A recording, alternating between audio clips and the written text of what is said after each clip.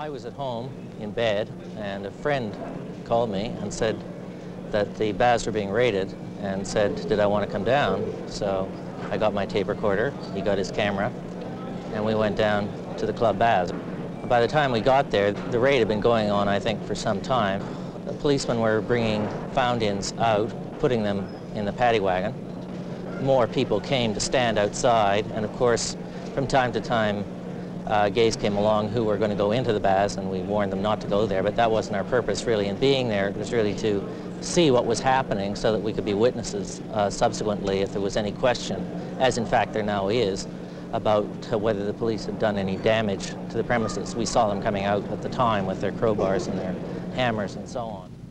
And it took place in four baths in the city of Toronto. If you had have asked me that even five minutes before the raid, I would have said, I don't think there's a possibility of a raid at this bath. I just don't believe it. I think it's impossible.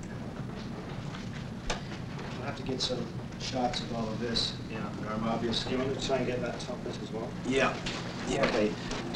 So just come towards me so you... Okay. Obviously, Obviously, looking away. somebody was pushed into the, the wall there. Yes, very obviously. And we have a uh, boot through the wall there, as if that was an Okay, can you come on this side of me? Sure, and I can get.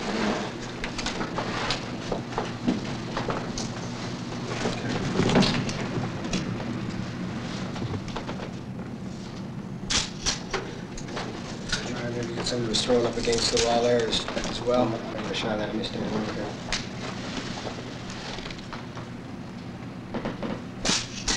Okay. First, you can get a shot at the door.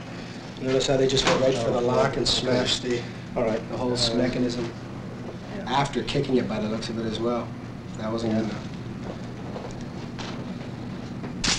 Okay, and uh, you can... Can you just stand on that, that far side Sure. this time?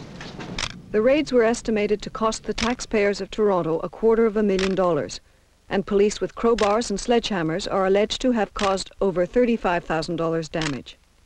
The Richmond Street Health Emporium, which sustained the bulk of the damage, has had to go out of business.